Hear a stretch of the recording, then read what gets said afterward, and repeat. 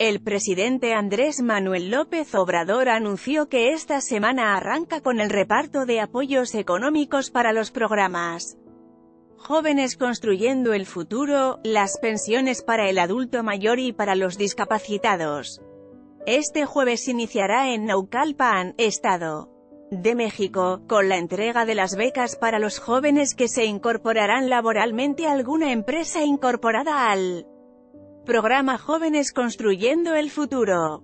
El viernes viaja a Tlapa, Guerrero, para la entrega de los 1.274 pesos mensuales para los niños, niñas y jóvenes con discapacidad. Finanzas Hacienda Última plan para centralizar compras del gobierno federal y el domingo termina en el Valle de Chalco, Estado de México, donde entregará las pensiones universales para los adultos mayores a partir de los 68 años. Hace dos semanas, los delegados federales comentaron que el censo del bienestar, por el que se elabora el padrón de los beneficiarios, tenía un avance de poco más del 50%.